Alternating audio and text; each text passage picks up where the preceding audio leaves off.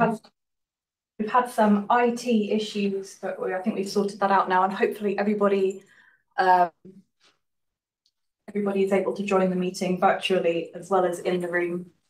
Um, I need to let you know that we are recording this meeting um, with the idea to send it around for uh, comms and media.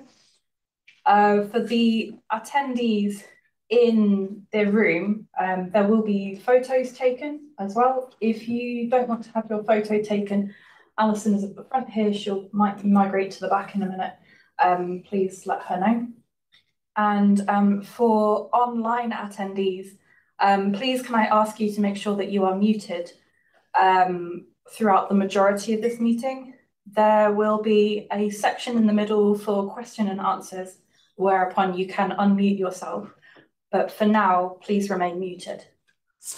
Um, right, let's begin. Slides. So,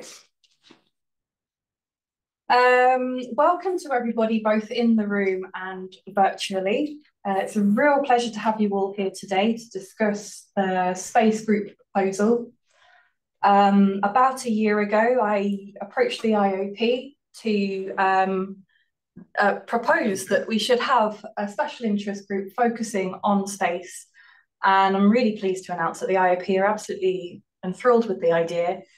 And uh, it's been maybe a year in the making, but we were finally having our first event, which is this town hall meeting.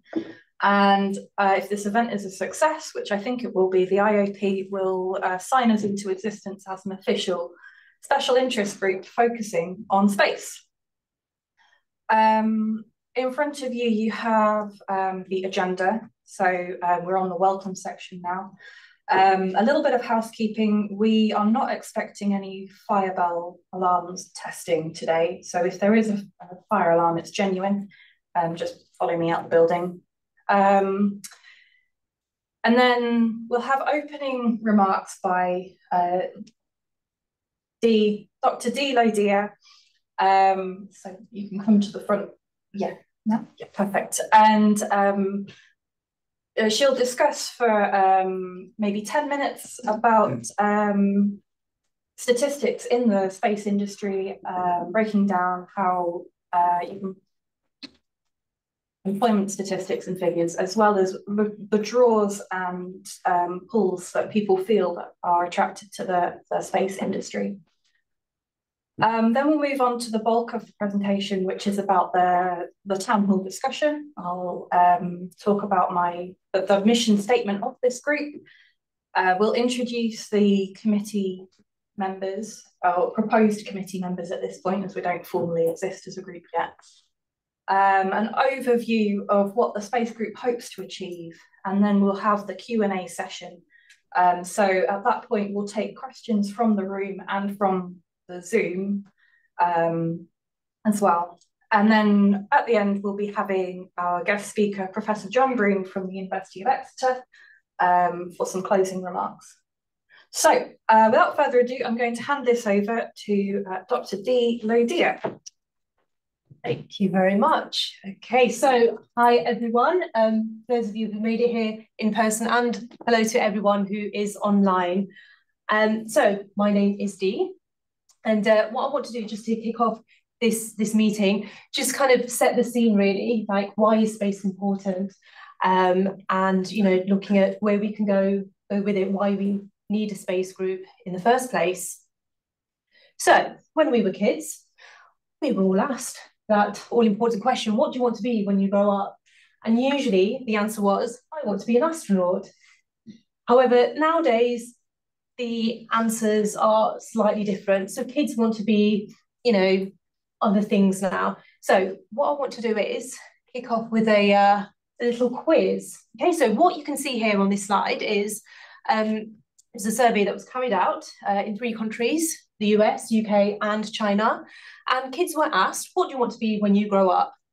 They were given a choice of five professions. So we have blogger slash YouTuber, teacher, professional athlete, musician, and an astronaut. So, started off, um, we've got the answers from the kids from the USA. Uh, you can see that the most popular choice was blogger slash YouTuber. The second most popular choice was to be a teacher. Next, to be an athlete. After that, musician. And then the least popular answer was to be an astronaut. So what I would like to do is um, ask everyone to maybe just have a guess. What do you think the answers are for those children that were asked in the UK? So um, and I, I, would like people who are online as well to get involved. So, you know, if you are, if you do have access to the chat function, please feel free to type in. So which of these five professions do you think was the most popular answer from the UK? Feel free to, to shout out and, and type in the chat.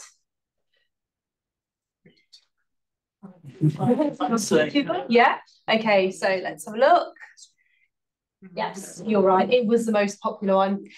Um, which one do you think was the least popular? Teacher. no hesitation there.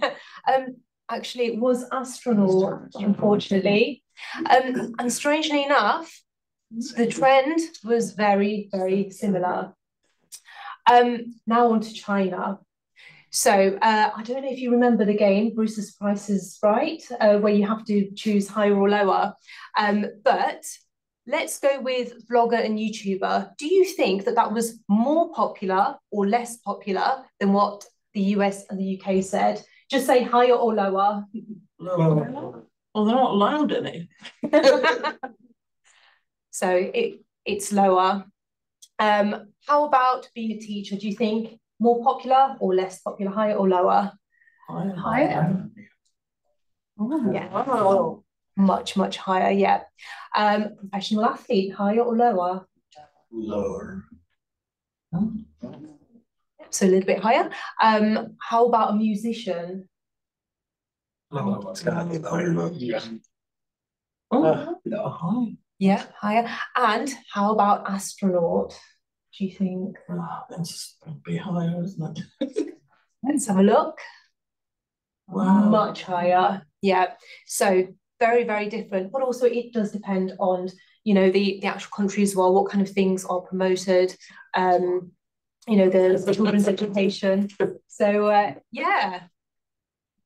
Okay. Um, now thinking about, you know, why why are kids, you know, giving these sorts of answers? Well, if we look at what sort of influences people have had, those people who work in the space um, industry, in space sector, uh, what different influences did they have? So this is another survey where people who work in the space sector, they were asked this.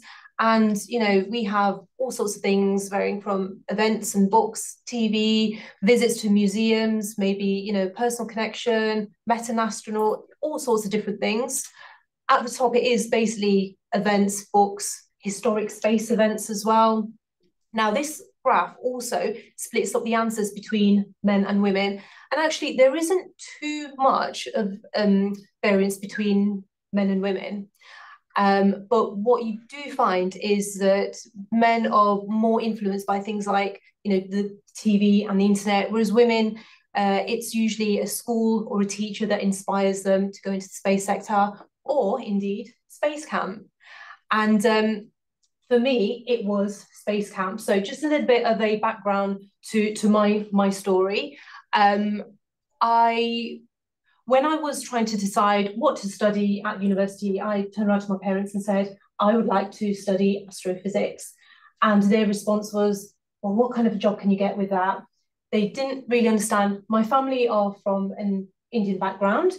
And I was one of the first people in my family to actually go to university. So my parents didn't understand or have the, the kind of support or guidance to then help me.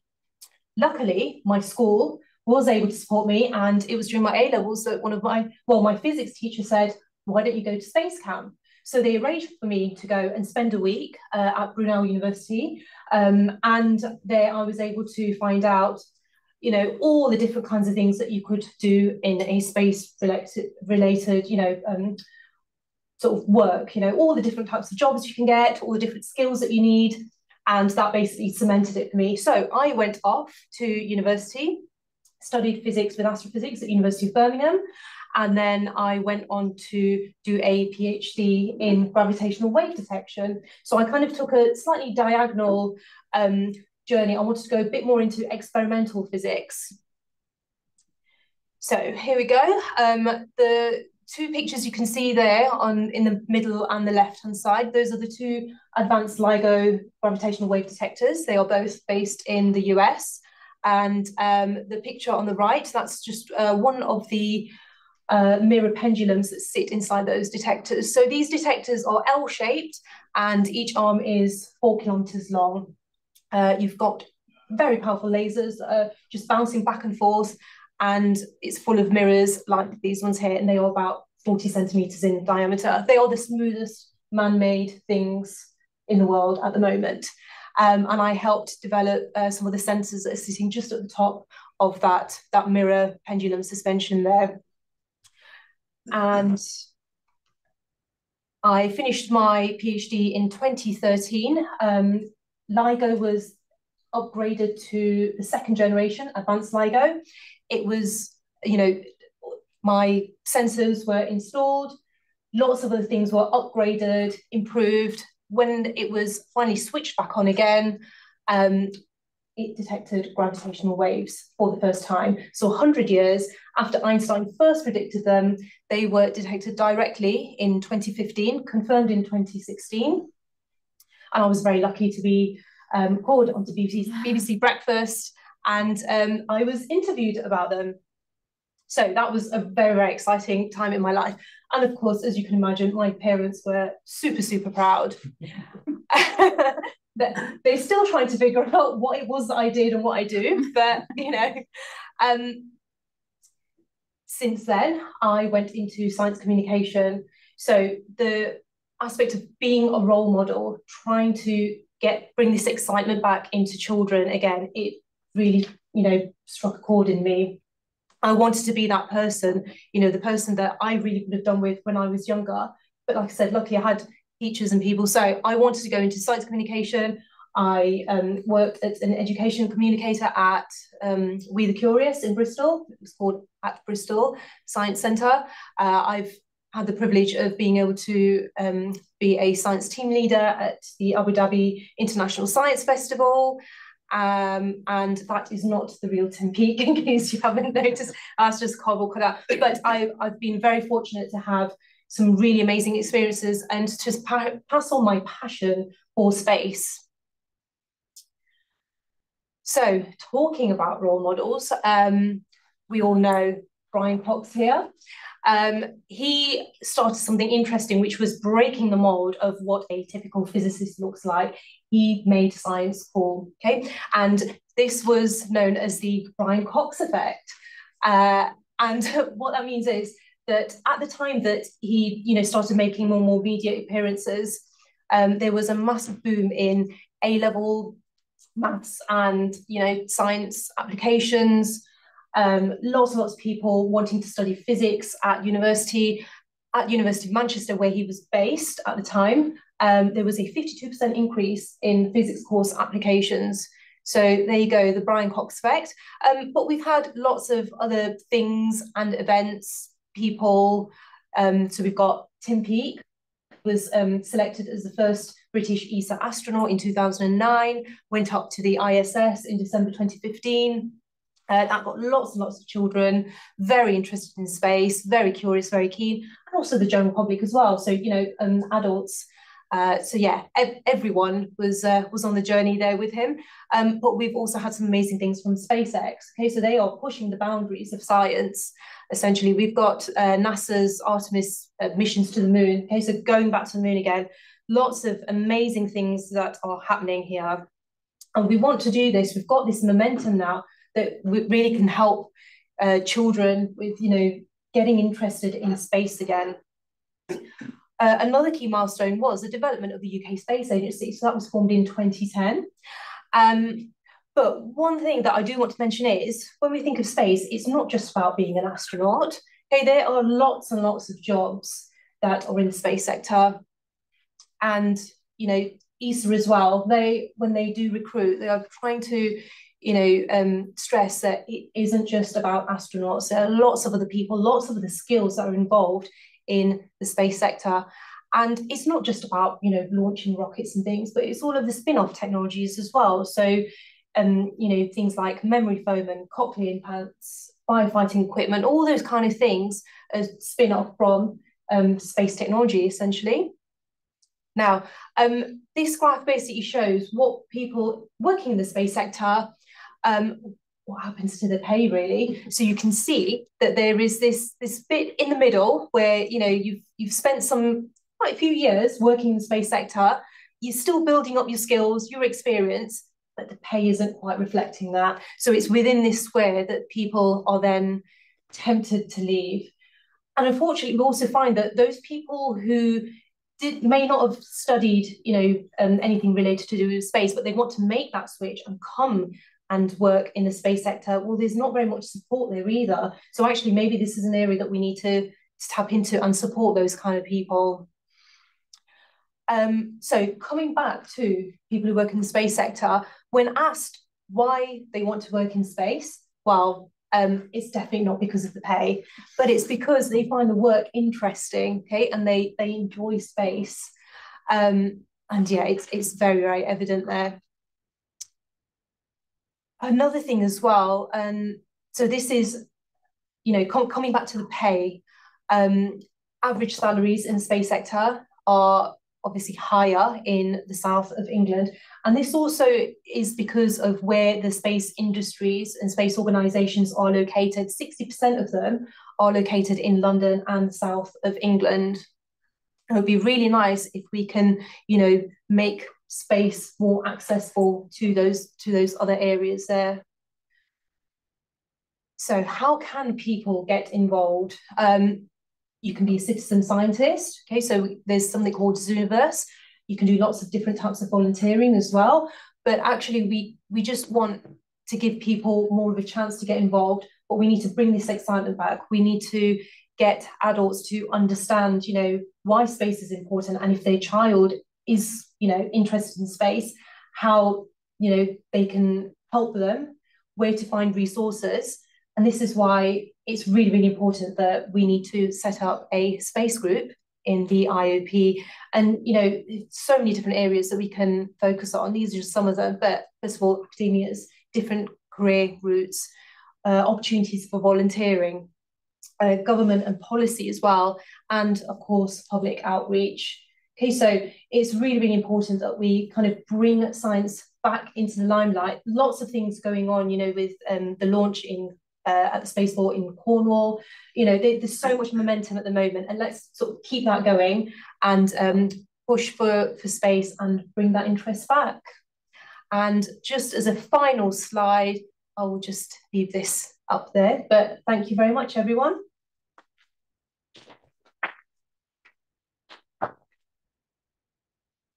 You very much. The um, just I've met the last couple of people that have been in the waiting room.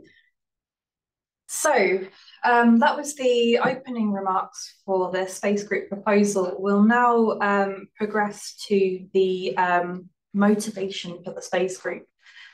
So um, the global space industry is, is predicted $1 trillion of growth by 2040. Um, I don't know if that's a current statistic, that was a pre-pandemic statistic, maybe it's slightly smaller now, but um, the, the overarching theme is that space is a growing industry, it's a growing sector, and um, that's, that's all over the world. And uh, the UK government has spearheaded space as a potential growth opportunity for us um, on on a, another level, I also note that um, the IOP has lots of special interest groups, but um, from in my own background, I moved from uh, nuclear to space, and when I did, I found that there was sort of a gap in the portfolio of the IOP special interest groups, um, reflecting career choices that I had made. So I decided to make a group. um, and I see this as um, analogous to other um, special interest groups that the IOP already has. So, for example, the IOP has uh, a nuclear industry group, and I think that this this proposal is going to focus on maybe similar topics, but but space related. Um, we have a mission statement. Um, the mission statement, I'll read it to you now, is promoting, uh, representing, and connecting um, interested parties within the space domain. So when I say promoting, I'm talking about um, creating that platform for ideation and collaboration across the space industry. And when I'm talking about representing, it's about representing um, people maybe with a physics background that maybe work in a related field in the space industry that aren't represented by any other group. And uh, connecting is all about knowledge sharing and networking between those interested parties. Uh, and when we're talking about interested parties, it, it's not just astronauts, as we have just spoken about. There's loads of um, industries that, that are going to be springing up around the space domain. Uh, so we, are talking about individuals, but also academia, businesses, government representatives, um, and maybe even amateur astronomers, photographers as well. Um, space isn't just for science and it isn't just for engineering. It's also there's there's careers in law, there's careers in um, admin, there's career, there's all sorts of um, interested parties we're expecting to be um, on board with this. Um, so we move on to the part of the presentation where I am going to be introducing myself and also um, the people who have joined me on this journey to be on this committee with me um, are, are, also going to introduce themselves. Um, so firstly, my name is Alex Davis. It's been we've been in this meeting for half an hour. I haven't actually said my name yet. My name is Alex Davis. I work as a systems engineer at RAL Space. And uh, my background is in physics. Um, I uh, graduated from the University of Surrey in 2013 with a, a, bachelor in physics. But I've migrated to engineering, as is a, a, common theme in many people's careers to migrate across many different STEM subjects. Um, so I currently work on two projects, 50% um, on each. Uh, one of them is called the Ariel project, which is um, a satellite that will be measuring planetary exoplanet uh, transits across stars and um, using infrared spectrometry to measure the chemical composition of those atmospheres. So you'd be able to categorize your, your planets by the chemistry that's happening on their, on their atmospheres. And the second one is, is SPECTRE, which um, will demonstrate orbit to ground transmission of entangled photons to develop new technologies um, in particular uh, quantum cryptography technologies. So this is all about sending data in a really secure way. Um, and obviously my professional interests, I'm, I'm trying to create this group and I'm excited to learn more about being um, a systems engineer in the space domain.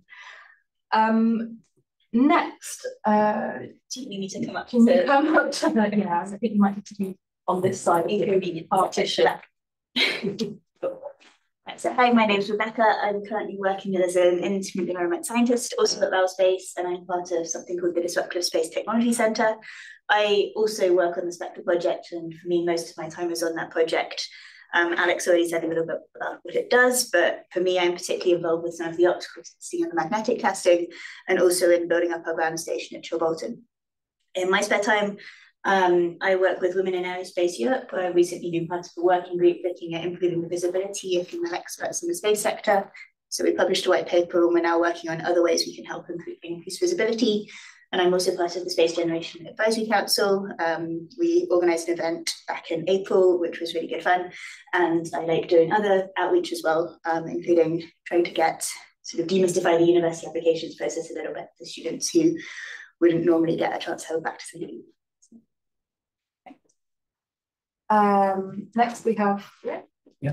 I'm okay here. Yeah, you are. Yeah, so uh, I'm Rick Lamore. Uh, so I'm currently a, a, senior systems engineer at MDA UK. Um, so we do uh, space robotics and sensors. Um, I have uh, over 10 years uh, working in on technology developments and uh, flight hardware for, for projects in the space industry. I started here at RAL working on mini magnetospheres for human spaceflight, um, and then moved on to doing um, all the engineering side of, of space. So technology development for a lot of European Space Agency projects, um, looking at things like window design for human space flights, uh, analysis for different uh, interplanetary missions, um, various uh, sort of multi-physics kind of applications uh, in technology. Um, and I guess, uh, like Alex, I kind of felt that there wasn't really a home for me within the IOP, uh, aside from enjoying the articles in the magazine every month. Um, and I think sort of making this group will benefit a lot of people like me who've been on the engineering side, maybe didn't really feel like the IOP was a place that they should kind of get into. Um, but we could really benefit from being in the same room with people on the more scientific side and uh, sort of getting some of that cross contamination of ideas um, and developing some technologies in the future. So looking forward to that. And next, you know, if you come over to the mic, sorry. Hi everyone, it's me again. Um, so uh, yeah, uh, I am Dipali Lodia, just feel free to call me Dee. Um, I'm currently a public engagement manager at uh, UKRI, so that's UK Research and Innovation. Uh, so in the public engagement team, we manage programs for uh, universities and different organisations, um, different industries as well, and also including the IOP. Um, so yeah, it's it's a really exciting uh, sort of role that I'm that I'm involved in. Uh, one of the sort of most exciting projects uh, that I'm currently working on is um, this digital gaming uh, platform. Um, so we we provided funding for this project where we asked someone to to come up with some sort of digital game that will help um, raise climate aware um, climate change awareness in young people. And so what they did was they uh, used motion capture and CGI and then created this amazing interactive story where the audience can basically decide which way the story goes and evolves. So they make the decisions as to how the story is played out.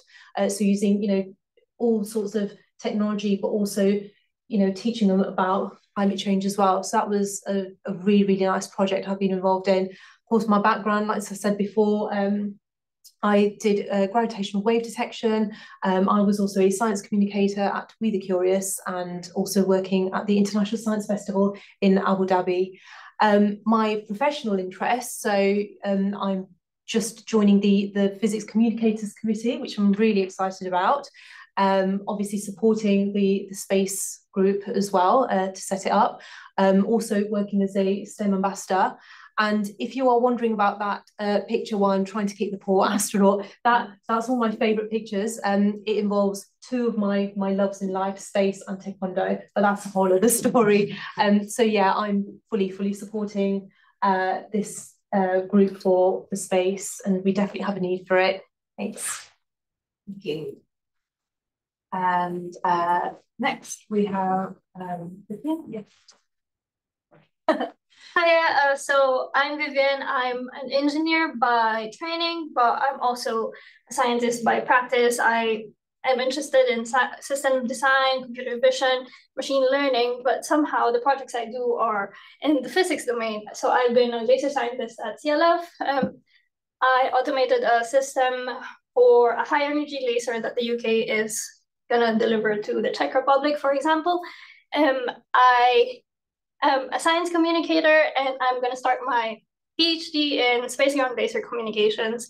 And basically my goals for the next years would be to eventually be a chartered engineer, stay involved in experimental research. I like getting my hands dirty, but I feel like I'm playing. um, science communication, especially in space, and STEM in general, because I do not have good foundation in space. I just keep bouncing, and I'm basically here because I really like space. Somehow I ended up here, and I would like for people to have like um, a group that they could go to or say, hey, that, there's a space group or something like that. So I really want to support this group, and obviously to finish my PhD is one of my biggest goals. But yeah, thank you. Um, Emily, yeah, you're fine. All right, yeah. Um, hi, I'm Emily. I'm also, like Rebecca, an instrument development scientist in the Disruptive Space Technology Centre here at RAL Space. Before that, I did a, a degree and a PhD in physics. Um, I work on a few different projects here. I also work on the Spectre project for demonstrating quantum key distribution. I do some work trying to measure sky brightness at potential sites for satellite optical ground stations. I'm currently trying to learn FPGA programming, which is, which is quite different and quite fun as well. And so, yes, I'm very excited to, to have this group within the IOP. It's something that I was involved in as a student and it's sort of let drop, I suppose, as I've as I've started my career. So very much looking forward to that. And uh, Marco? Hello everyone, I'm Marco, and um, I'm the Director and Chief Technology Officer of a company based in Harwell campus that is a grown-up startup. So I'm a physicist. My background is uh, I did a PhD in uh, Earth observation in Italy, and uh, as a result of that PhD, we developed together with our with our team in the company um, a methodology for calculating solar exposure at ground. And from that result, we decided to create a startup company, a spin out of my original company in Italy that is based now here at uh, inside RAL. And what we do, we apply, we use uh, satellite data for measuring the solar exposure of people in real time and provide uh, um, basically medical or healthcare services like mobile apps for preventing sunburn or uh, telemedicine of skin cancer using the light from remote and in collaboration with the Public Health England, that is now UKHSA, and um, with the European Space Agency, UK Space Agency, and the NHS. So um, as you can see, these are just some pictures of the type of apps that we do, mobile apps for personalized sun protection or telemedicine. And uh, I, the moment I saw this group, I said, wow, that's great news. And I said it immediately to Alex because I think that I can second totally what uh, Rick said. I was part of the IOP. I've been part of the IOP for the last two years, but uh, I felt that, uh, you know, it's such a great organization, but there was not a specific place for me, for space industry, way for physicists working in space and in an industrial environment. So I think that this group is absolutely a brilliant idea. I'm very, I'm proud to support it and to be part of this proposed committee. And of course, what I would like to do, as I brought in my professional interest, I would like to be helpful for the group and for the IOP in general to uh, for supporting the uh, development also of the relationship between academia and industry, also to provide opportunities for young researchers in this, uh, in particular in the applied space sector, like in applications that are based on space technology. That's me.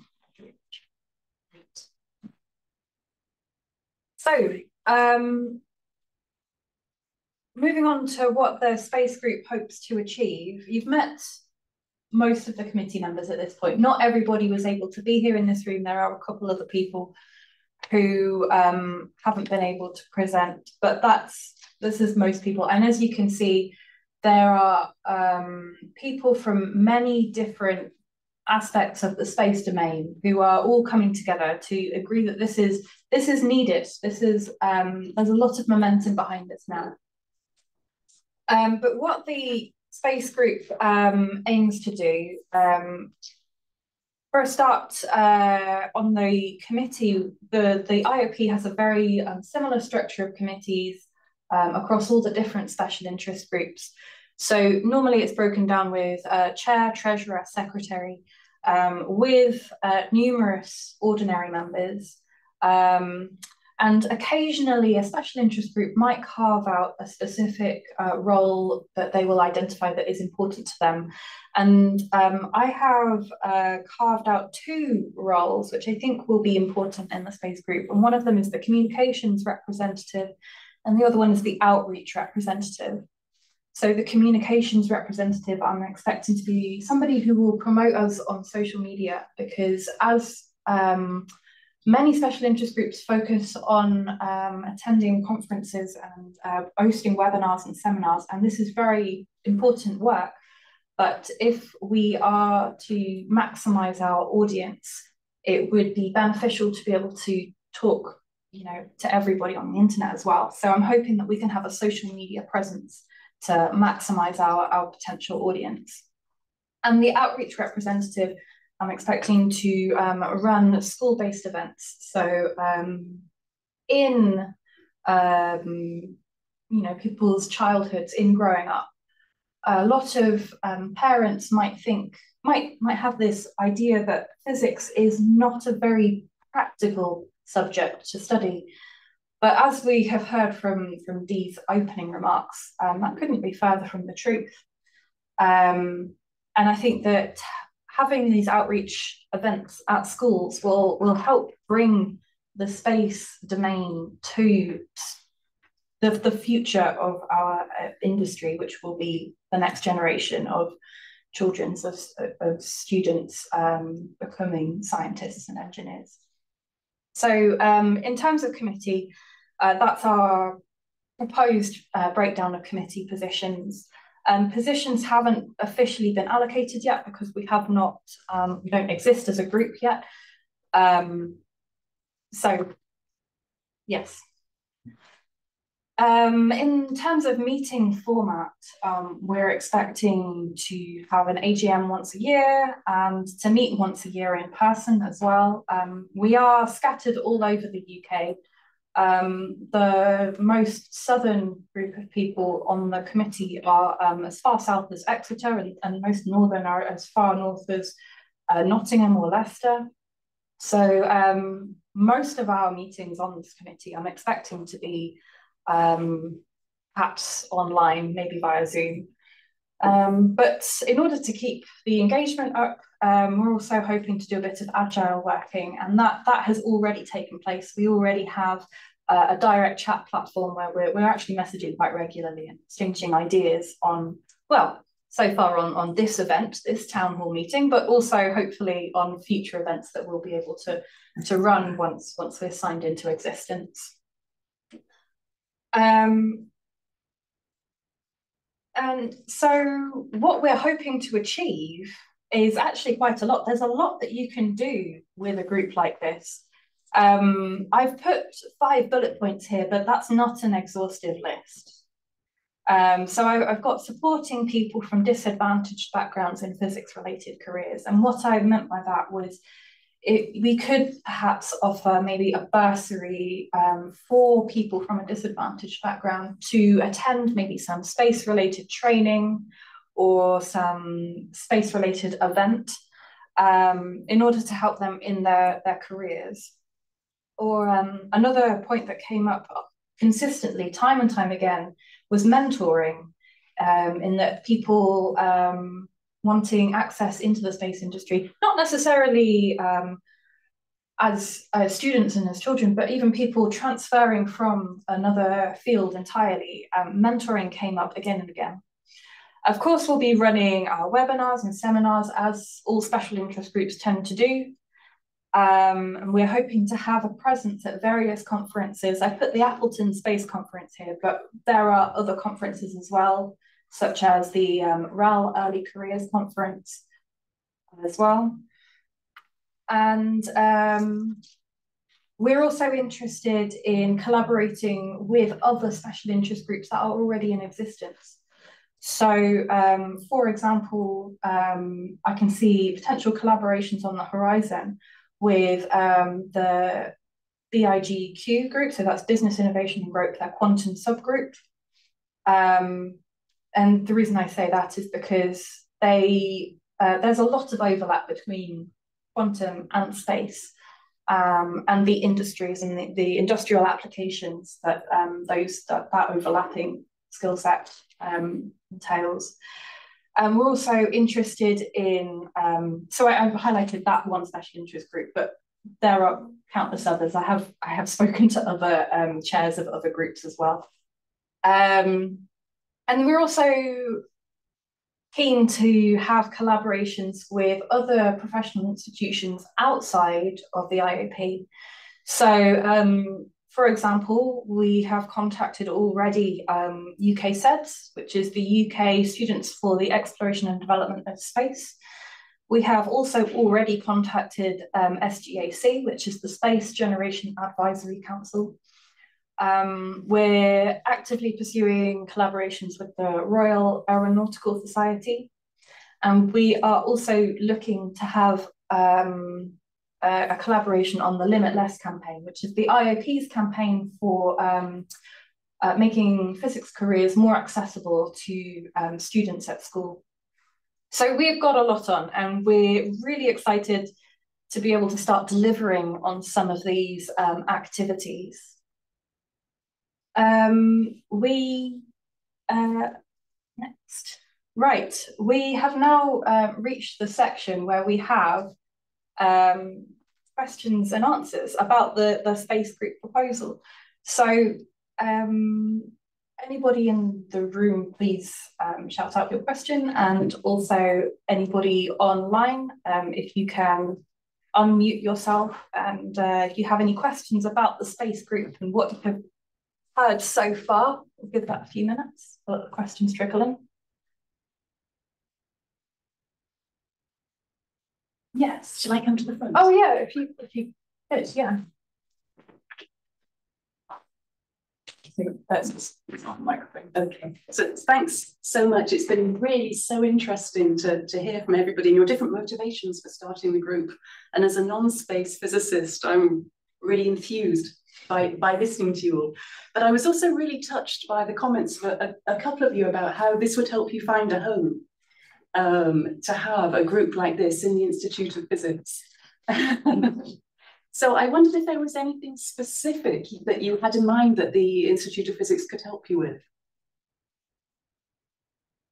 I think for me, it, it, it's uh, as I was saying before, it, it's it's kind of getting getting in the same room as people who are maybe non-space but doing a lot of really interesting things um, that we could potentially incorporate into space applications um, in terms of growing the industrial side a bit more. Uh, so yeah, working on collaborations that can we can maybe apply things because sometimes you're working on things on the ground that you don't necessarily think might have a benefit in space, I guess. And those of us who have been working in space might see a different twist or whatever that, that could be applied. That's exciting. on the reverse, having the as a, as a pure scientist to, to actually have a group which uh, brings you into proper contact with engineers on concepts and things that are are, are, uh, are very uh, early on. Um, and it, it, tends to be that the engineers will only be involved when everything is all very solid and, and, and determined. Uh, so it's an opportunity for those kind of engineers uh, imagination, I think, and aspirations for things that are more interesting to have a, a, a, a meeting place with scientists who are looking for their skills to, to interact with. So I think it's very valuable. We do have a couple of questions coming in online. The first person is JCZ. I'm sorry, I, I don't see a full name. Go ahead, JCZ. Hi there. Can you hear me okay? Yes, loud and clear. Okay. Yeah. So my name's John Zarnecki. Uh, I'm a retired uh, space scientist. Um, yeah. Thanks to everybody for some very interesting thoughts and presentations. Um, I do have a few comments. Uh, one of the uh, presenters, I think it was D, um, sort of concentrated on the domains, but not what I would call the space domains, things like academia, government, industry, and so forth. But I think it's also important to think about the different space domains because space has so many different uh, domains. And by that, I mean the space science, there's the space engineering, there's um, Earth observation, so using space just as a platform to look down. Um, uh, and, and then there are people who use space data but actually have no knowledge or even interest per se in space, but they use the data acquired from space. So I think we need to think about all of those different aspects. And I presume I might be wrong that we'd want to include all of those branches. But, you know, they are quite different, aren't they? And then there's also space exploration. So rather than just, you know, boringly going round and round the Earth, actually going to interesting places like Mars and Saturn, for example. So I think, you know, that is is a subject that is worth um, talking about. And um, I, don't know if you saw my comment. Um, I did notice that the committee looked horribly not diverse, if that's the right expression. I mean, horribly young if I might say so. Um, and as a member of the IOP EDI committee, I would flag that. You know, we should try and uh, represent uh, the IOP in that respect. And also, please tell me if I'm wrong, but it did seem very RAL stroke Harwell um, heavy. And though some of my best friends at RAL, uh, I do think we should look at broadening uh, that aspect. That's enough yeah. from me now. All good points. Um, so, so in answer to your your question about the space domains, you're you're absolutely right. I want to capture as many different aspects of space as possible. And um, I'm actually writing your comments down very quickly so I can. But I mean, climate um, change. Nobody, I don't think I heard the expression climate change once in there. And you know, most of what we know about climate change comes comes yeah, from space. it comes from space data. Yeah, yeah, like the um like the Copernicus program as well. It's all it's all related and it's all super important to discuss and is going to form an important part of, of our, our space group. Um, as I said, uh, we have so many things that we can do with this group that it's hard to fit them all on one slide. So I um I haven't mentioned everything. Um, in terms of diversity, uh, you're right, there is a, a RAL skew RAL, that's the Rutherford Appleton Laboratory. There is a RAL skew to this. And um, I have tried as hard as I can to cast my net as wide as possible to bring in as many different people from different parts of the country and, and different um, industries as possible. And I've, I've attended uh, networking events and um, uh, presented online and um, done all sorts really. And yet a lot of the people that I know are within the the walls of the building that we're currently broadcasting from. So there is a RAL skew, and I am aware of that. But I think each person on this proposed committee brings something unique to this group, uh, something special. And um, as I also said, not everybody on the committee who, who has attempted to be on the committee is um, actually here present today. Some people are busy um, uh, attending other meetings. We have um, uh, one person who works at um, EUMETSAT as well. We have a couple others as well. I can't remember all of them, but we have, we, you're right, we do, not everybody in this room um, is, uh, well, there's a lot of RAL skew to this room. I've got one more question online before. I just want to answer John actually. Go on. Just to say, uh, uh, John, it's Ruth Bamford here. Uh, so there are some oldies uh, associated oh, with this. Although I am, of course, well. Oh, thank you, darling. but uh, I, I think uh, I think driving this uh, from the youth is actually promising, but uh, uh, they they do have some input from us oldies.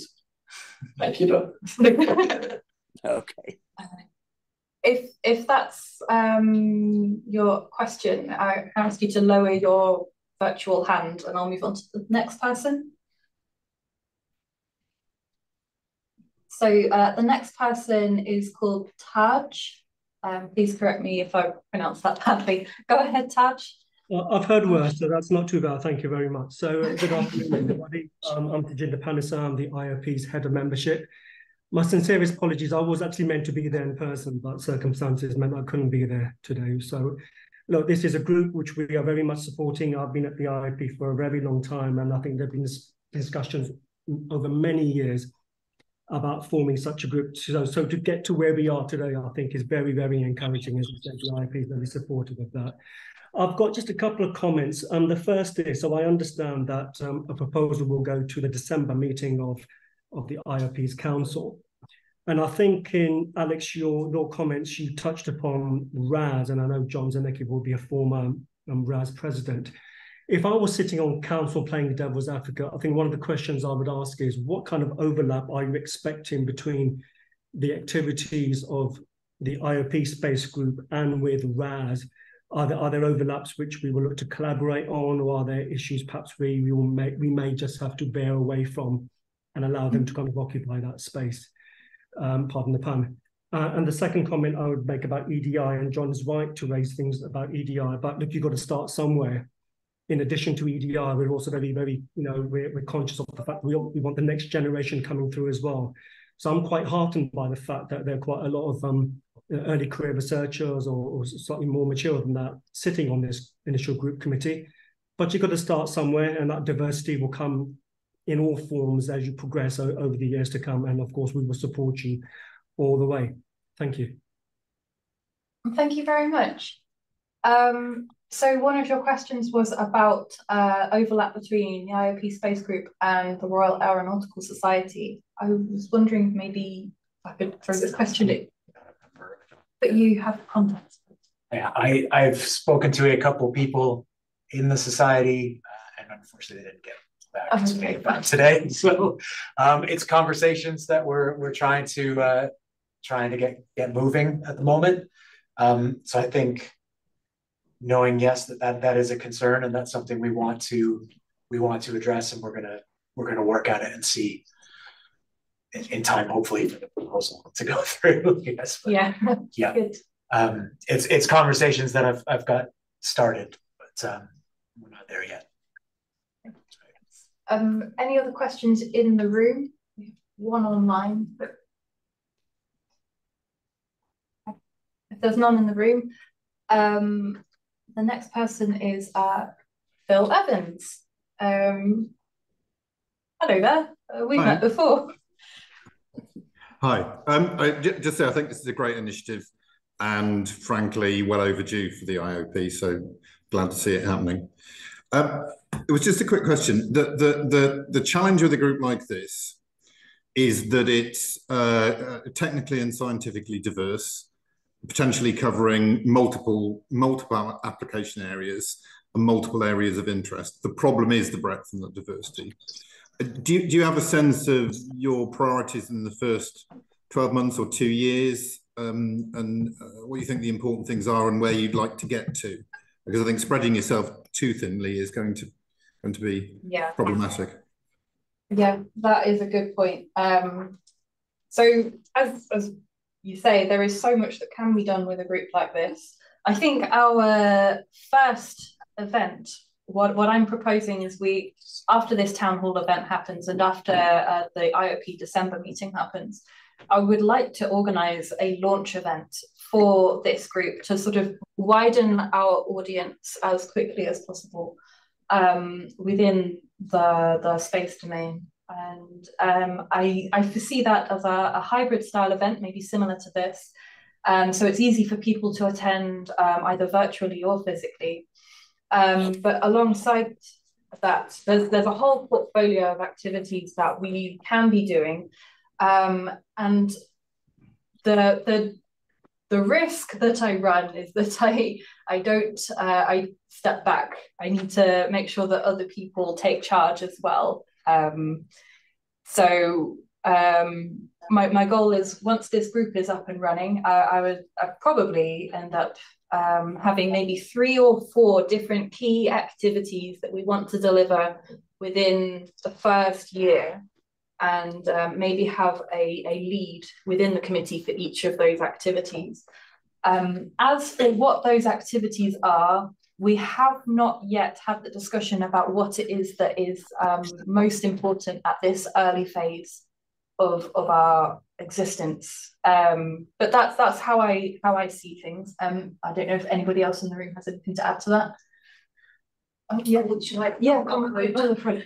Um, Yeah, I guess just to add to that as well, um, you, you're, you're absolutely right. I think it's it's a very broad subject, but I think that could work in our favour because it just gives us more opportunities to link up with other groups, as we said, you know, the um, Royal Aeronautical Society, maybe the UK Space Agency. And I think this cross collaboration could be really, really valuable, just working together more and um, yeah, just allowing us to, to network as well. So we're not just, you know, one small self-contained group, but being able to branch out. I think that will be really rich and valuable. Yeah, exactly. Um, just a note, I said uh, Royal Aeronautical Society, but I've just been corrected on comments. They meant Royal Astronomical Society, and at the moment we don't have a, a direct contact there, um, but we we can add them to the list of people we want to to connect with, the groups we want to connect with. Um, yes, uh, so if there are any other questions online, please uh, raise your virtual hand, or if there are any questions in the room, please go ahead. I don't have any questions queued at the moment. I have one. Okay. Yeah, go ahead. What is the one thing you're most excited to do in the first year of this thing? Oh, um, that's a really good question. I think I'm just excited for this group to exist generally. Right. Um, I like this group to exist. um, um, and when it does, I, I have worked um, uh, what's the word? Agile in an agile way before. And I, I think that that would work really well for us because we have such a wide scope. It would help it would be beneficial for people to take their different leadership roles on, on the different um, ideas that we we have proposals as, as activities that we can do. Um, I don't know if anybody else has anything that they think was really exciting to focus on in the first year a comment. Yeah, go on. I was planning to say before, also in response to the question raised regarding the home in the, in the IOP. I think that one of the most important things that we potentially do as a group is to, first of all, to discuss together and to try to focus on some specific area because I agree, we could do whatever, but we have to start from something. Otherwise, we end up in doing nothing. That's the risk that I feel. So maybe networking uh, as a group and yeah. then promoting and launching, maybe launch event is suggested for networking also with other people outside of the group and to promote the group and to try to think, uh, I mean, to start from these could be, I think, a, a, good opportunity. And then I agree also with this idea. And then, like, the first thing will be networking in some way and agreeing together a plan. That's, I think, the, the first practical thing to do. And then maybe also launching officially the group. I think it's definitely a very good idea collaboration with other society, absolutely, and to see there are, and then maybe selecting a, a few, maybe also starting from the ideas of the committee members, we could start by selecting, I don't know, one or two ideas also for events. I'm thinking to events as part of maybe in the frame of a conference, like a mm-hmm. hub, or maybe something that would be like about physics, but at the, I mean, also the UK Space Agency as a conference, apart from that, and that could be like an opportunity yeah. for having a sort of IOP physics related event in the frame of the, of the conference. That could be an idea. And this is, could be a starting point. And then different people on the committee and maybe other people that could join the group later on would propose some specific ideas. Like, I don't know, in my case, I could say, what I do, healthcare applications of space. Have you ever thought that space can be used for healthcare? Wow, no, that's the right place for learning about it or whatever. And the second thing, this is about, uh, I would say, networking for professionals or anyway, people working in the industry or not in the industry, in the space sector, academia or industry. The second thing could be also regarding, as you say, students or graduates. So for early career people or anyway, physicists, just to let them know, you're studying physics, there are opportunities. And the opportunities could be X, Y, Z. Yeah, that was a, a, really good point to raise. Um, I think we had one in-person question and two more queued up online. So yes, yeah, sure, yeah, John Broom from Exeter. So um, just to say that um, in Exeter we can help with the uh, climate physics Earth observation data analysis sort of creative expertise into that. But also, secondly, with the IOP, you have access to the nations and branches as well, so you can actually quite naturally have a whole UK and Ireland coverage with that. So we aim to leverage that. in the conversations and the, because it's very much a convening year, think. Yeah, yeah, thank you. Yeah, perfect. Um, so we have uh, one question online um, from Leah Nani. Can you hear me? Oh, uh, can you speak maybe closer to your microphone? Am I very quiet? Um, oh, that's better. I can hear you okay. now. Okay. Um, hi, sorry. Uh, I just there's there was a question in the the chat, and I apologize, Frank, for taking your question, but it, it doesn't seem to have received a response, and I thought it was quite interesting, um, which was about sort of international benchmarking of the group against um, similar groups in um, you know physics societies and other places. Uh, is is there a sort of plan for that, and ha has activity that other groups, either existing groups, are doing, or um, possibly contact with other other societies to see if they plan such a group um, has happened?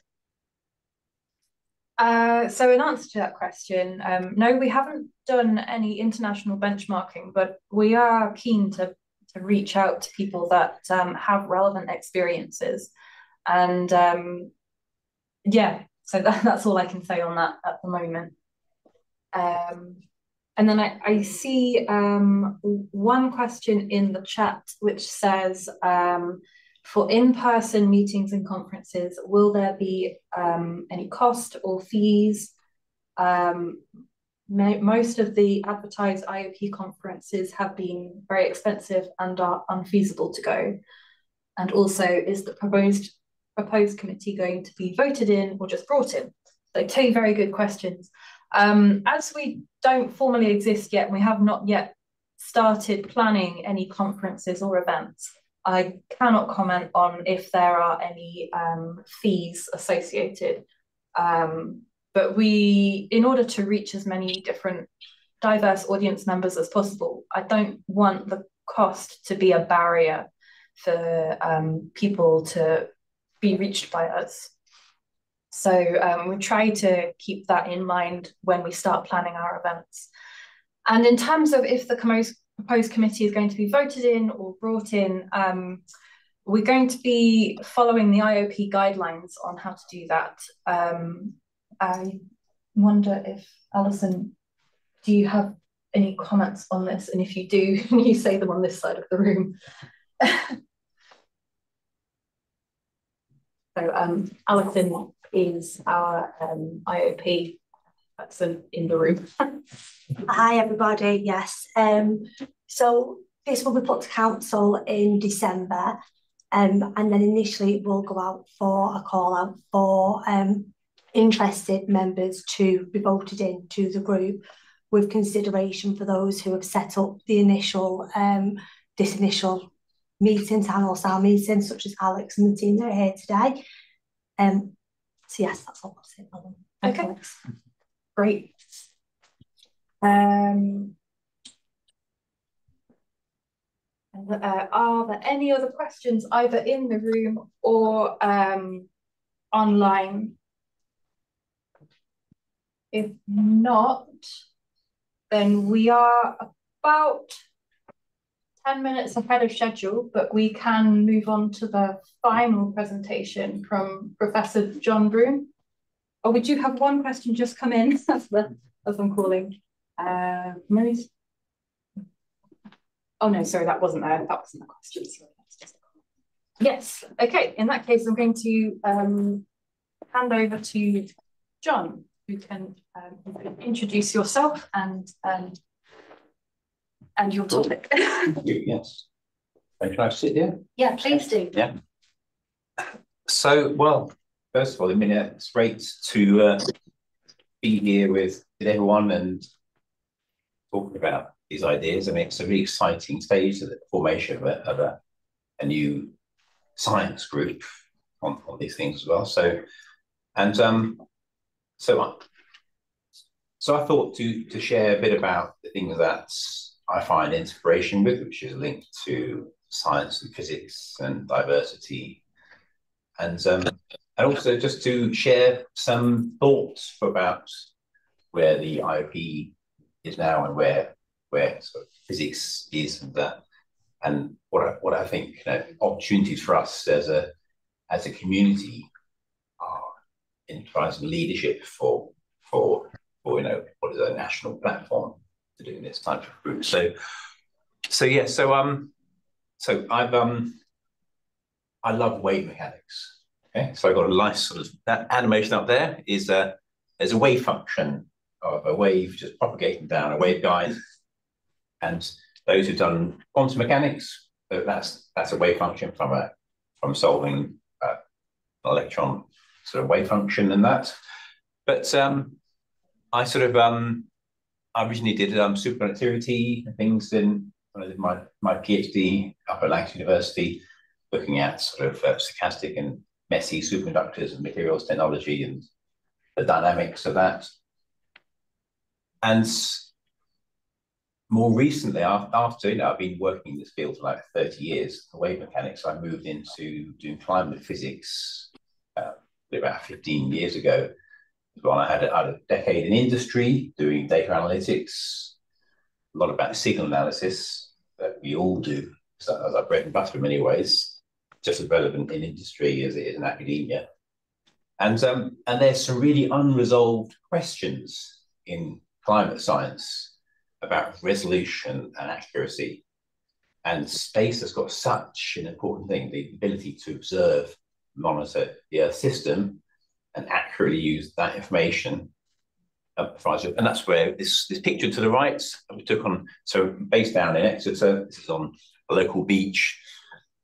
And um, in that picture, we have the sea, the, you know, the, sand, the clouds, and then you can see there's a moon on top, the full moon on top of that that, that cloud there. And uh, those are all of the, uh, the dominant components when you set up the equations of motion to understand the climate system and how energy flows around as well.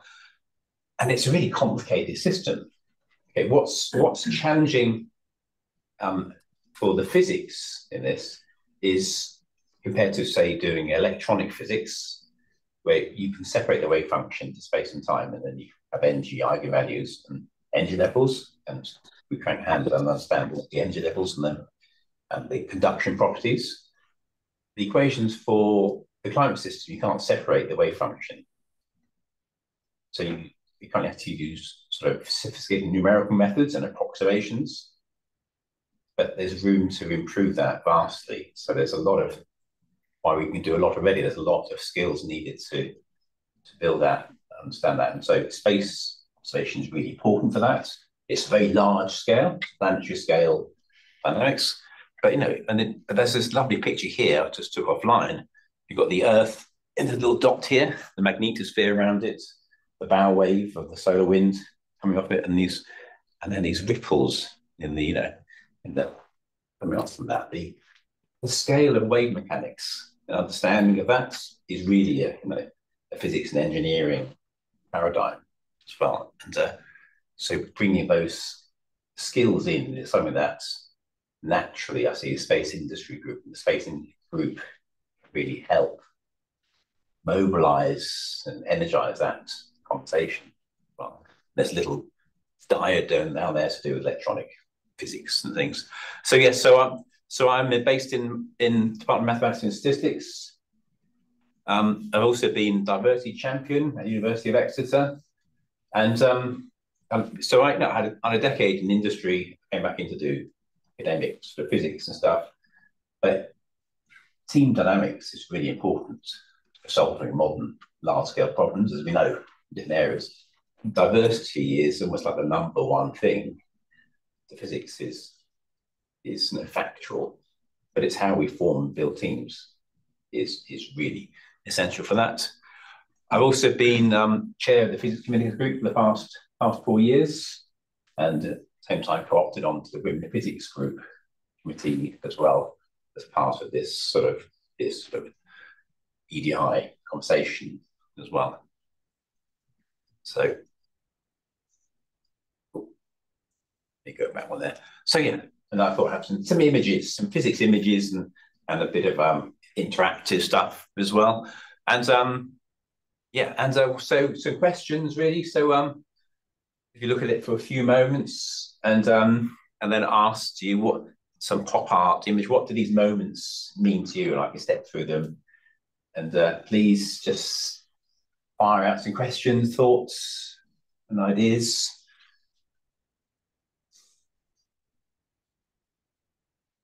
Yeah. Um, if that was a cup of tea and you just poured milk in it, there could be some turbulence effect, which might link back to your stochastic interests. Yes. yes. Yeah. Storm the teacup. Yeah. Yes. Turbulence. Looking at turbulence and yeah, absolutely. Yeah. So that's us sitting in a in a little cafe with our three kids. We've got three grown kids, kids now as well. And um, the top left image, anyone know where that comes from? It's an artist's impression when the Cassini-Huygens um, satellite crashed into, into Saturn as well. This must be about four years ago now. That was the artist's impression of what it looked like the last its last few days. And and John Zarnecki can tell you all about that. Yeah, yeah. Yeah. Yeah. Oh, fantastic. Yeah. I'd love to hear more about just the I mean, the capability with modern electronics to monitor remote, remote sensing is absolutely phenomenal as well. And uh, and that's something I think that this group helps to table that at a at a, at a level that the IOP can can can host as well.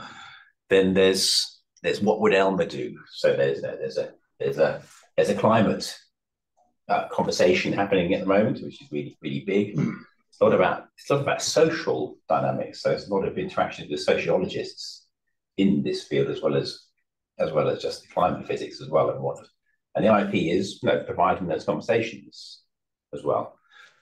Then you've got this nice aurora as well. I think there's a CME is due to hit the Earth tomorrow. I think Tuesday.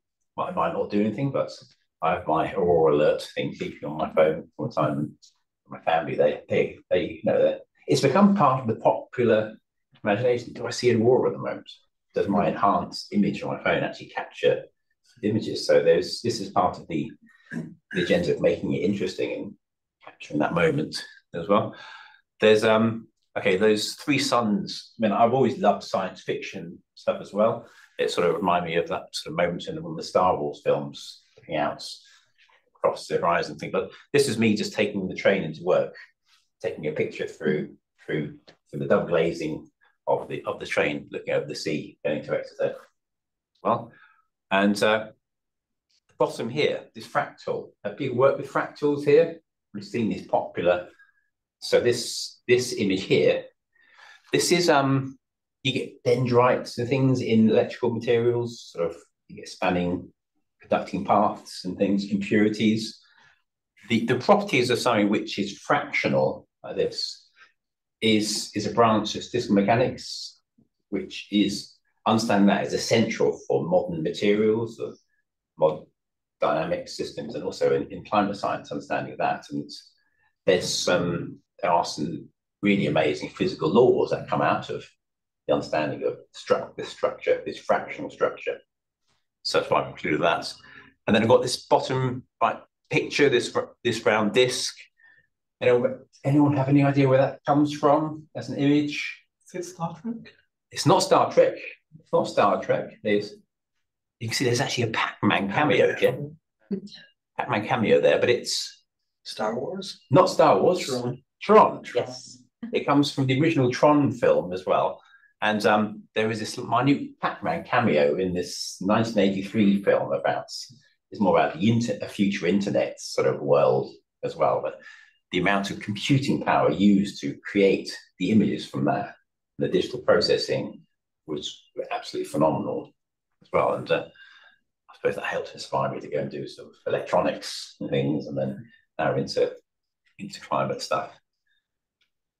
So, yeah, so so I moved into doing theoretical physics and um, analysis and communications. We're doing lecturing and applied data sciences is a big thing. So, so while physics, understanding solving physics problems is important, one big growth area at the moment is uh, data science, solving problems. We have uh, like a, over 100 master's students coming in every year at the moment at Exeter doing, doing data science. We're also building up the skill base of people who might then take a longer term career in, in engineering or physics, there, there are a community of, pe of people who are practicing this area to be to be mindful of what makes it interesting to retain in that skill gaps that the showed us about. And um, I'm interested in sort of national policy, understanding, and uh, how we explain the world. So STEM and diversity is just as important as the physical laws to this. And uh, and I said I mentioned about the diversity champion Exeter, and I've been on the advisory board for the Limitless campaign as well, and I'll share a bit about that in a while as well. Um, my sort of uh, physics area stuff is yeah looking at fractals in, in the climate system, and then this bottom left picture here is um that's a representation. What's the average of the entire ESA ocean color record, looking at the color of the ocean in terms of how green it is. So that's that is like leaves on the trees. That is that is microplankton. So it's the amount of chlorophyll pigment that you can see in space. And they obviously respire CO2 again and oxygen. So they're part of the CO2 pump. You can see there's different areas of the ocean, there's different biomes. The satellite sees just the, the, the surface optical layer, the top between three and 200 meters. So it doesn't capture the internal dynamics, but it does help to tell us about the how nutrients get upwelled to the top layer, which then gives more plankton or not. And because we have repeated time series, and spatially, we can look at the spatial temporal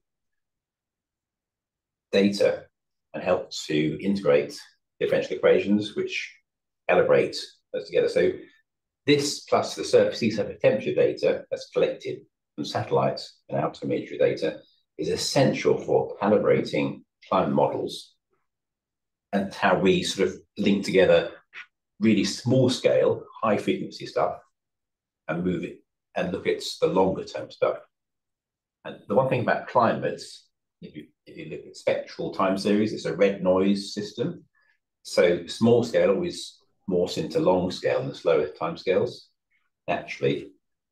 So we have to calibrate that, how we represent that properly in theoretical and simulation models. And there's still room to improve that a lot.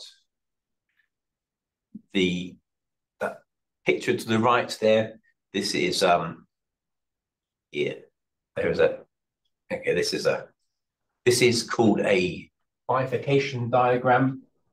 It represents resonances in the Pacific Ocean, but it's actually a fractal.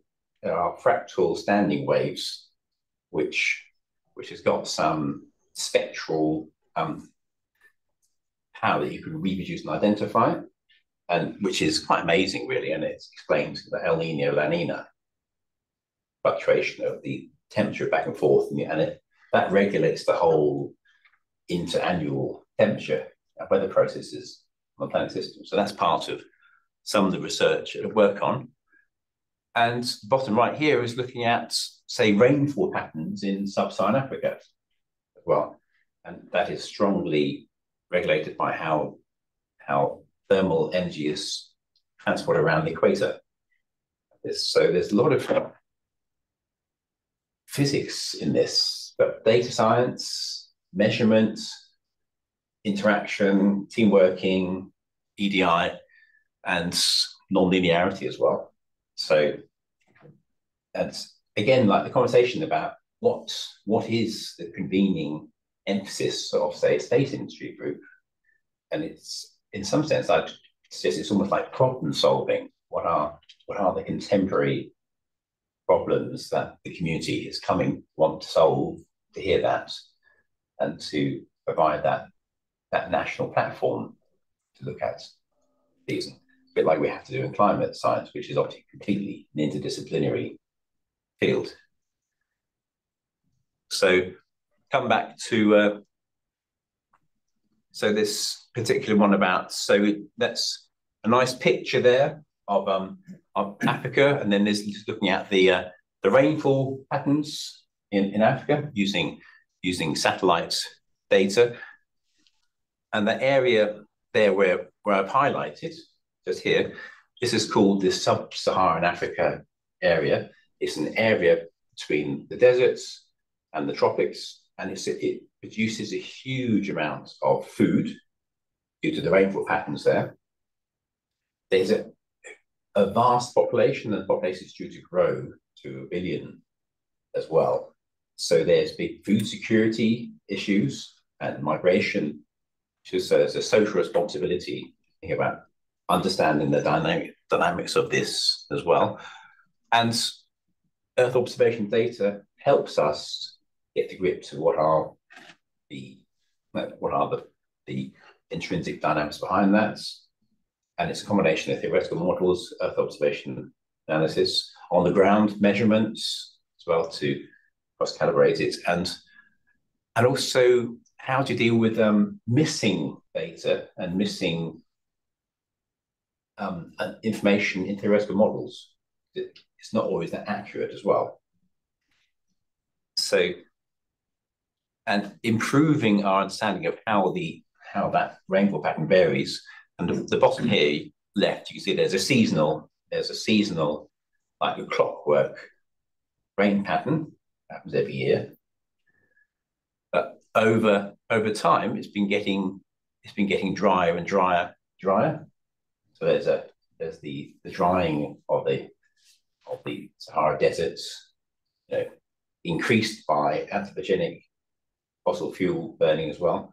But you can see there's also decadal variation in this as well, which is connected to ocean processes and how they interact. So by better understanding that, you can look at phasing of when better support can be applied and resources can be allocated.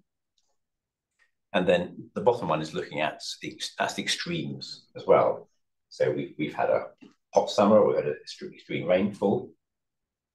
How society deals with, with catastrophic extremes as well is something that's really important. That satellite Earth observation data can really help us pinpoints the spatial extent, how representative is and to, to help to analyze that. And there's a lot of questions still to answer about these type of fragility analysis for, for doing that. So like low Earth orbit observation capability can provide, can provide much more local accountability and and monitoring areas that has been much harder to do from geostationary ones because it's it's cheaper more and more quick to do so. So the opportunities of, of the space industry sector is are vast in terms of just solving some of these problems, you know the or the other ones as well. And also, I mean, I'm, I'm interested in the theoretical properties, the physical mechanics, and different things to do with understanding, you know, just fundamental physics as well. And and what's you know, those people who come into the space industry area as well, I want to pursue a much more in-depth career, looking at the fundamental constants of nature as well. And, and there's lots of scaling laws that by having the resolution and the capability to monitor it could be gravity sensors as well, to actually monitor those using the Earth as a platform to actually to detect and look at different things like precession, uh, angular momentum changes in the Earth and uh, the atmosphere, things. There's an opportunity to have some really high technical long-term career developments for scientists in this area as well. So, so you can so you can articulate quite a spectrum of, of long-term infrastructure deep physics ones to engineering, to applied climate science and interaction projects, consortium projects as well. So, and I'd recommend just to create a group, but whilst you know you don't want to be too big, see what ideas come to the table from the community of interest that is is starting to emerge. So now to come to a bit about yeah, this in, inclusivity in, in, in STEM as well. And the uh, so the so the, the IOP has been has been looking at the uh, and it's quite, I think, personally, I think it's very leading edge in terms of what is the conversation about inclusivity who's, who is mentioned in this. And so the Limitless campaign is has been focusing by design looking at so younger, young the younger community to, to start with. It's not limited to that, but the target audience has been understanding that many people get, uh, preconceived ideas seeded of what it is to do physics you know, before they're 10, virtually. And so there's a lot of stereotypes that get embedded, and then it and then it ends up with these these surveys about being an astronaut or being a blogger as well, because it's like, well, I don't do that, I'd rather do this. So so the IOP has done this deep dive and looking at that and saying, so the Limitless campaign has, has is an answer to that. There's a very large team, um, talent team working on the campaigns around this, around social media and how to address that. And uh, and so yeah, it's been a real privilege to be invited to be part of doing that as well. And so I've also been working on the diversity stuff, you know, as my in my academic role at Exeter as well. And so just to share some thoughts into, into you know, the formation of this new collective we have here as well.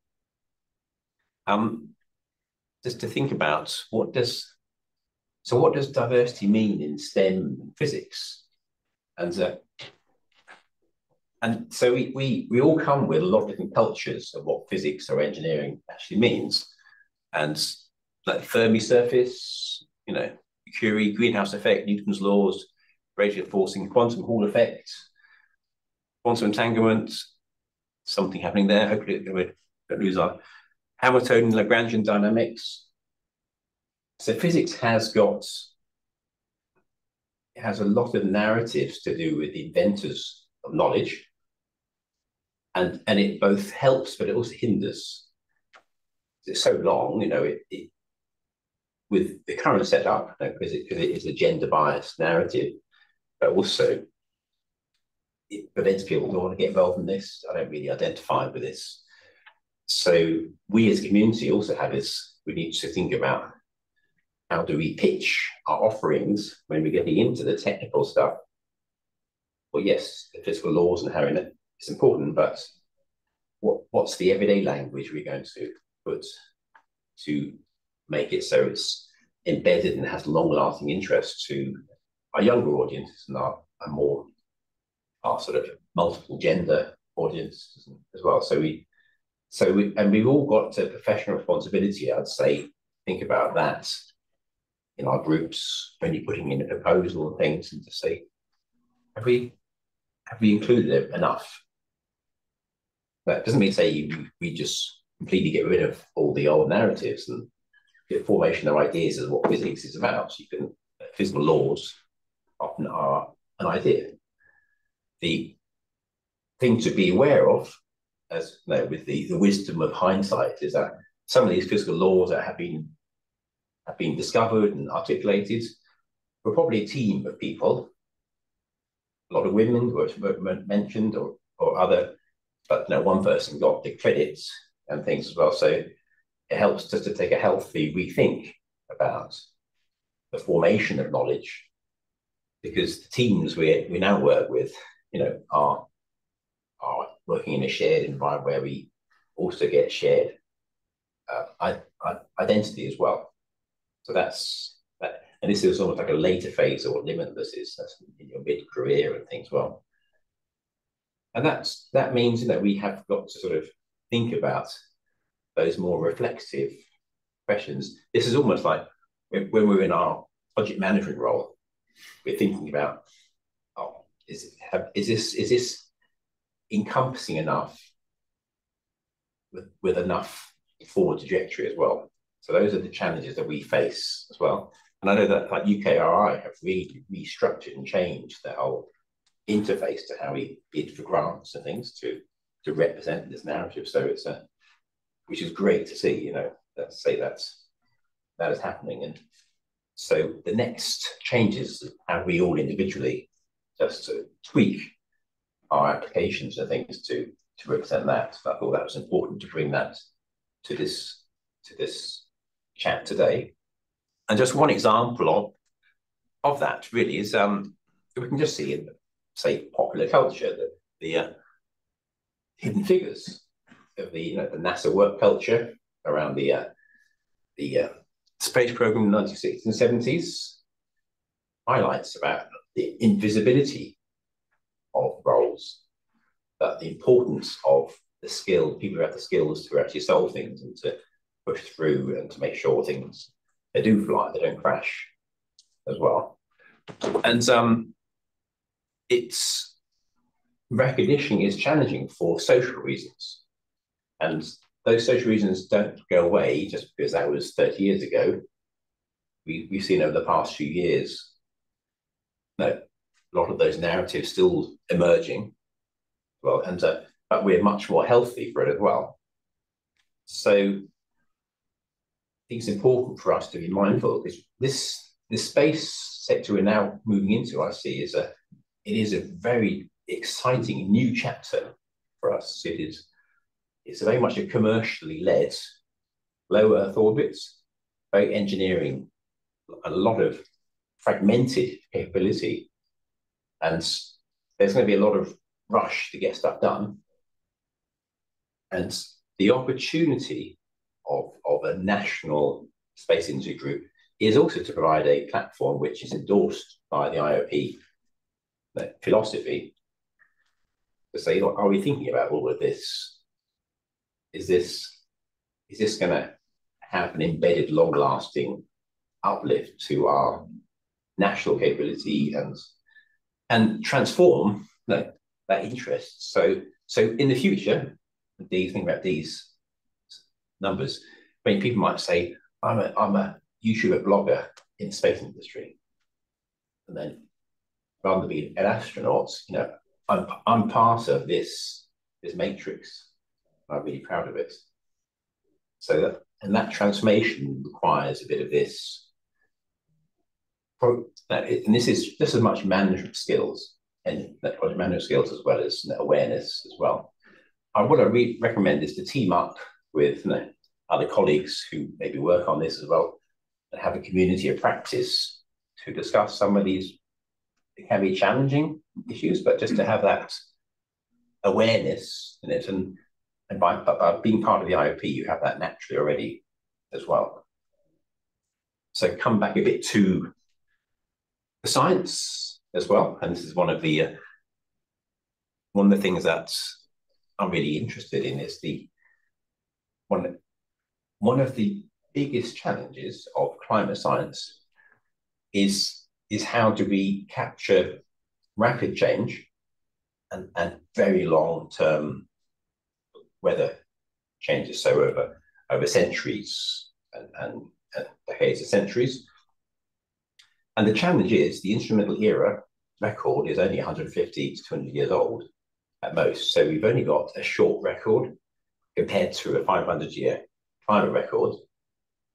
So we can start to use proxies as well and calibrate that with instrumental era. And and this is this is one proxy which is I think more poetic, literally, and this is a take this is data taken from a a from a, a team we're working with in China, and and they've used their they've actually used the uh, over fifty thousand poems to derive the time of year when a particular uh, flower would, would go into bud. And they calibrate it to leaf bud and ice melt things. So we have a record of the time year when spring started in those different years, which I can apply a time series analysis to and look at it. And then you see there's this, this dotted line to the right. You, get, when you get a big, massive volcanic eruption, which includes the, uh, the, the, the solar, solar energy coming in, that was Mount Tambora in 1814, massive eruption in Indonesia. And it, and it causes sort of so so Turner was doing these paintings in Europe. It caused lots of famines across the world. Reduced the temperature for a couple of years. so that is obviously data which satellites haven't recorded, but we can tether the instantaneous dynamics of changes. So there was the eruption in the South Pacific a couple of years ago.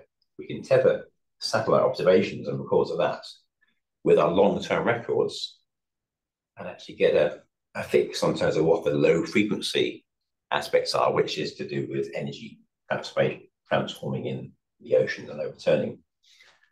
And by doing that, we can actually both, I think this is really interesting, we can actually look at long-term climate physics record, but you know, you can, if you've got these very complex problems applied to you know, data analysis, real satellite calibration data, things, so you can, so you can perhaps attract in people from different walks of life who might want to get involved in this as well. So, and that's where where the, one of my interests sort of lies in this.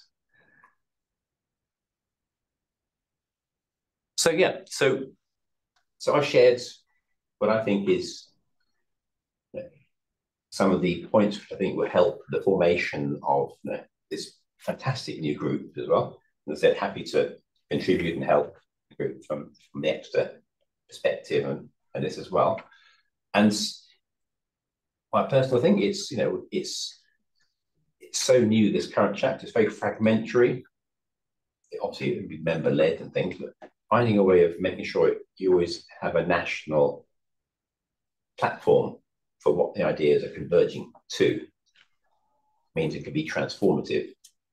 I think that can help give you that resilience. Okay, thank you.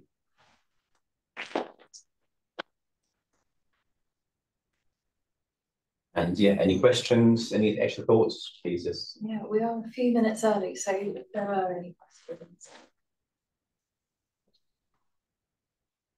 Well, just an observation following John's talk about. I think that's really important what you're saying about having that common messaging, like actually stepping back and recognizing what the, where the challenges are and getting people behind those individual challenges. I think that really helps sort of grow interest and, people realizing what you're doing and then following following that piece because if you've got that narrative even something like um, sort of my history secondary school pupils big on climate change and wanting to do their part but not realizing the narrative of where the data science comes from on climate change and actually the importance of satellites I think if you can connect that then you can really get that full of people that they've got clarity something tangible as to what you're setting out to achieve and the problems that you're trying to address the group. That was really interesting. Thank you. Cool. Yeah. One science question. Do you look at the upper atmosphere variations or the drivers for the lower atmosphere? Because you can see the solar cycle yeah. some of your data. Yes. And so the part of the uh, so you can look at equilibrium climate sensitivity, looks at top atmosphere to lower atmosphere to ocean interaction. And uh, so yeah, the, the physics of that is is really important. What, what do you call either under the all the way into space, the, the ionosphere, the mesosphere? Yeah, so I, I personally haven't looked at the electric electromagnetic field parts of that. It's not necessarily electromagnetic, but it, the, yeah. the, the, because it's still largely dominated by the, by yeah. the uh, neutral atmosphere, but right. there's a lot of um, periodicities and waves that go on at a very large amplitude in, in that part of the uh, yeah. atmosphere yeah. that is only permeating downwards. Yeah. That, so so that the so the technical aspects of modeling or un understanding the the uh, the whole Earth system mm. from compared to what I when I've looked at that's um, my electronic physics and how we measure sort of particle hole charge transfer and things and superconductor in wires and things. The, the way we currently model the climate system is nowhere near as sophisticated as we do for modern electronics, that's metaphysics. So at the computational cost of, of simulating the upper atmosphere and the ocean, I mean, a, a, a sophisticated model might have 80 atmosphere layers, mm. 80 only, and maybe and maybe 60 ocean layers. So they're not going to pick up low frequency by having such a coarse discretization. so there, so there are, so there's issues in terms of how do we move to the next generation that time modules includes both stochastic excitation, and then low frequency wave propagation. And with that discretization, the discretization is, is, is often too coarse to capture the low frequency variation we're talking about. So part of why I've sort of moved into climate physics is to is to look at the full spectral analysis of high frequency to low frequency dynamics and talk about both theoretical and the observational properties to do it. And so, so the uh, the collaborations I get involved in with that also involve working with paleo climate scientists who look at ice cores in Greenland or Antarctica, and they do sediment cores, they're geographers as well, and and linking it to how we do signal analysis of the climate system. And this and it's a key skill area that physicists are more used to through analysis and spectral analysis. Um, I find in the ge geographic areas, it's less, that skill base is not so strongly developed. Um, so we need this hybrid type of skill ability to, to analyze the units. And, but to come back to uh, the careers and the career gap, I think the, the, the other thing that's come up, say from the Limitless campaign, is, was also about sort of career mobility and you know, it takes it takes 10 years to become a chartered physicist. So, you know, degree, PhD, first first postdoc role, and then get accredited and things. And life happens, changes, and it's important to to ring fence that capability, as now the research councils are doing that. So you can gear change, that family, back 10 years later, whatever, and really recognizing the value of having that and you might want to then move from electronic physics into upper atmosphere physics and, and apply that, spend that 10 years there, and then move somewhere else. So providing that that sort of career mobility and that mindset into the diversity as well. I think the space, I think that's one of the one of the strongest things the space industry can do because it's it's such a multi-diverse interest already as well. So it can be quite leading in like that. And then problems like that can probably be more easily solved with that hybrid skill base. Hopefully. Yeah. Any other? There might be um, online questions. That's it. What's that one online? There's one online. JCZ? Oh yeah, JCZ we asked him to Oh, yeah. mute. JCZ, I'll ask a question. Hi there, yeah, JCZ here. Uh, thanks, John, very interesting uh, thoughts. Um, I can't remember exactly what words you used, but you said something about w- we're entering a new and exciting era in space or something like that. And uh, I'm I'm always very wary when I hear that. You know, every decade or every new year seems to be new and exciting in space. Uh, you know, surely when we, you know, the first time Gagarin went into space or the first soft landing on Mars and, and images from the surface of Mars, first time we saw the um, uh, the nucleus of a comet. Comet. These these are all pretty exciting. So, you know, and the future is more always more exciting than the past because we don't know what the future's going to tell us, whereas the past we know and it's boring. But so so I'm just challenging you to say why is this any more new and exciting than any other uh, decade? Yes, good, great question as well. And um, I think the, um, clue I've picked up um, is is it's to do with the commercialization of space. Really, the uh, we've moved from sort of national space space like NASA type launch things to it's much more about small industries scaling up to provide electronic sensors capability and linking with commercial launch platforms so to especially to low Earth orbit. So the deployment rate, I think, is new is the new chapter, and the the challenge is that it's more fragmentary. Uh, business will will will come and go bust. and come- You know, there's it's much more fragmentary. So, so with that, there's challenges, but there's much more scalability. Well, so I think that's that's why I, I've defined it as a new chapter, and it, it co-links in with us. We've just gone through the lockdown, post-lockdown, quite a transformation in our working culture. Most business meetings are teams or something now. We have a we're geared up to to work in a in a completely different, um, more inclusive way. Sometimes can have challenges as well. So together with all that, and the interdisciplinary nature that is provided, I'm and I'm using an optimistic new chapter definition. I think that's the opportunity that presents itself, and it's really about seizing that opportunity and providing enough leadership in that area. Does that answer your question? Um, I hear what you say. Thanks for your comments. Thank you. cool. Well, I think that's is that, is that all the all the points? Well, thank you very much. Well,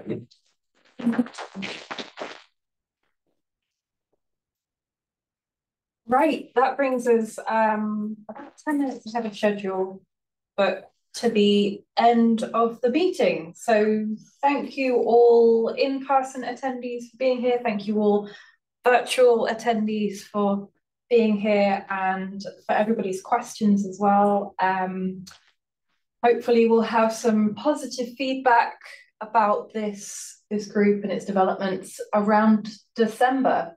Um, so fingers crossed and uh, thank you and I, I will end the meeting now.